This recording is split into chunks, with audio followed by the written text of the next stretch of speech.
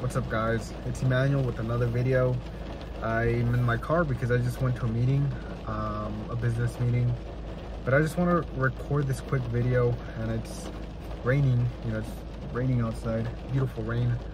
But I wanted to record this quick video just because I think, you know, I'm going to title this something like solopreneur.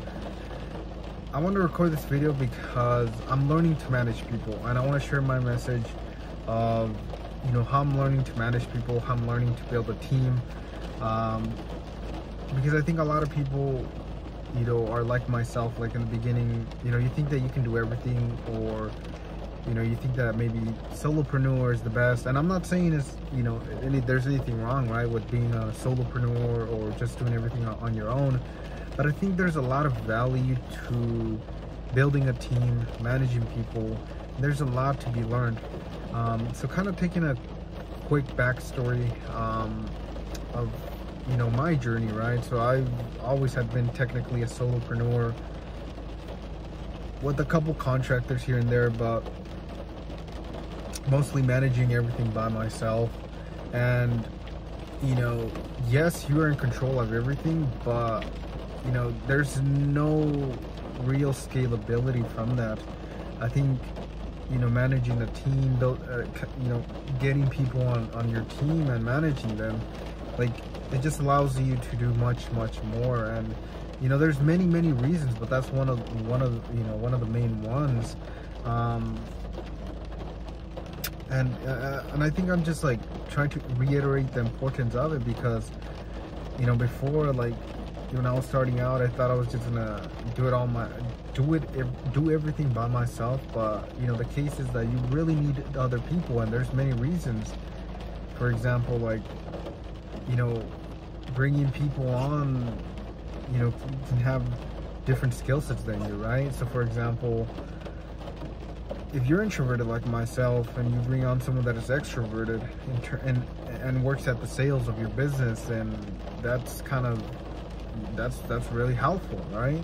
So not only that you know you bring in someone else that has you know other and complements other skills that you may not have and that just makes a, a you know a powerhouse of a, of a team and a, and a business right? And then the other thing is like maybe you do have those skills right? But you're not exceptional at them probably right? Maybe. Um, so for example my on my case right i always mention like I've always done video editing. I've always been decent at video editing, but I haven't been the best at video editing, right? So now that we're, you know, I partnered with a company recently, you know, we hired our first editor and he's much, much better than I am. So, you know, managing him and managing just bringing that that level of talent to a team has just been so beneficial for for the whole company and and for the for the brands right? So that's kind of another thing is like people have different skills and they have much better skills a lot of the time. And you know you will just improve your work by by bringing on people that are better better skilled than you. Um you know another thing why I, I really you know think you know the process of management and building a team is so important is because like you know when i was doing everything by myself, there's really nobody to celebrate the wins with. Um, but now it's like I'm realizing that, you know, building a team has so much value. For example, the company that I partner with, they have a pretty, pretty sizable team and they have a pretty enthusiastic team, right? So whenever, you know, something good happens, they're celebrating as a team. And I think there's so much value to that. Um, as opposed to, you know, if it's you're a solopreneur with maybe a couple contractors that you're not so close with, you know, you don't really have that celebration, that, you know, that, that, you know, you cohesiveness of a team, right? And that cohesiveness of a team also shows in the work, right? The work is much better. Um, but yeah, that's another thing. That's like um, the icing on the on the cake, I guess. You know, it's having that team when there's the ups, or maybe when then you know when there's the downs maybe there's someone to help you out there so i think there's so much value in building a team and like